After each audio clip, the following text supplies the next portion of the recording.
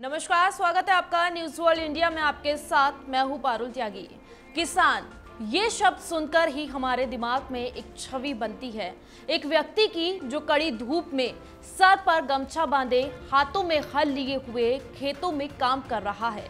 किसान को हम अन्नदाता कहते हैं और देश के हर व्यक्ति के दिल में किसानों के लिए एक इज़्ज़त का भाव हमेशा से है। पर देखा गया है कि कुछ बुद्धिजीवियों के द्वारा पिछले कुछ समय से किसानों को राजनीति का केंद्र बना दिया गया है।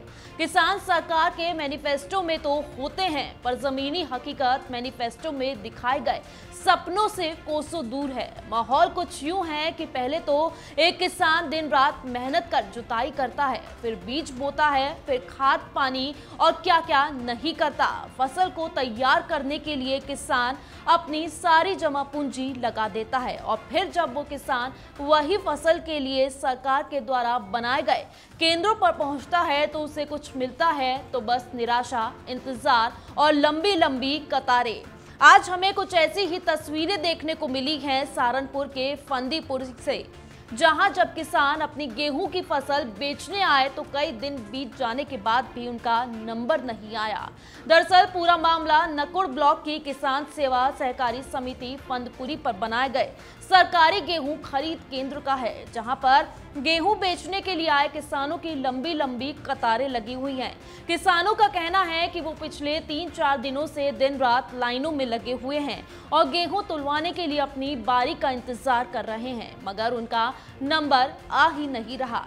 किसानों का कहना है कि चुनाव में वोट मांगने के लिए आने वाले जनप्रतिनिधि भी उनकी इस समस्या से मुँह मोड़े हुए हैं। वहीं इस पूरे मामले में किसान सेवा सहकारी समिति फंदीपुरी के एमजी का कहना है कि किसानों को परेशानी तो वास्तव में ही है, लेकिन वो भी मजबूर हैं क्योंकि उनके पास बोरों की कमी है और जो गेहूँ तुल चुका है, उसके उठान की भी व्यवस्था सही नहीं है। यही वजह है कि समय पर किसानों का गेहूँ नहीं तुल पा रहा है।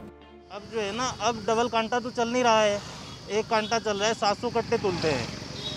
और किसान बहुत सारे हैं। इकतीस गाँव मेरे यहाँ लगे हुए थे, राजस्व गाँव इकतीस लगे हुए थे। ठीक है? तो भीड़ तो लगनी है।